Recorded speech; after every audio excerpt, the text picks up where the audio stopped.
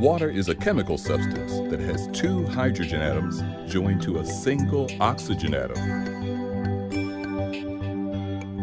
On Earth, water exists in various forms that include vapor, ice, and liquid. Found in seawater, icebergs, glaciers, and rivers.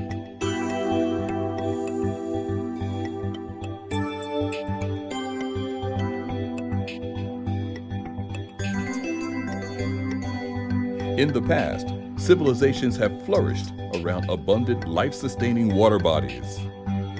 The society of Mesopotamia grew around the Tigris and Euphrates rivers, and ancient Egypt and Nubia around the Nile River. Water is fundamental to health and essential to every cell and organ in the body.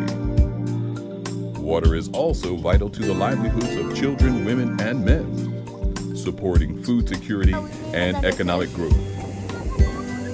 For a well-organized ecosystem, a never-ending water cycle is critical. And for sustainable development, balanced management of this valuable resource is essential.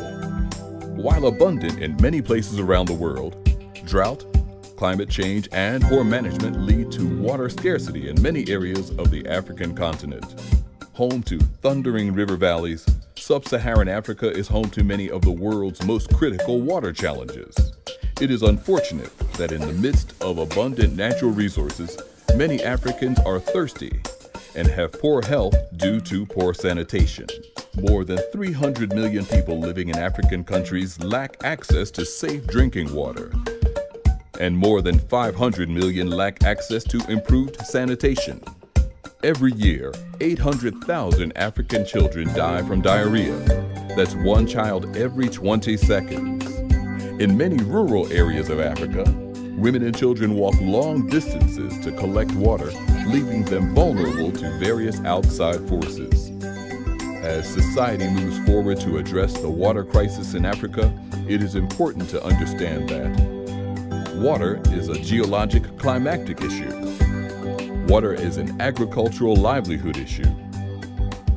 Water is an environmental justice issue water is an economic development issue, and water is a geopolitical security issue.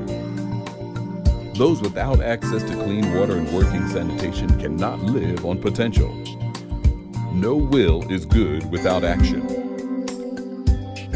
Let's unite with a greater sense of urgency to tackle the water challenges that so many people in Africa and other regions throughout the world face.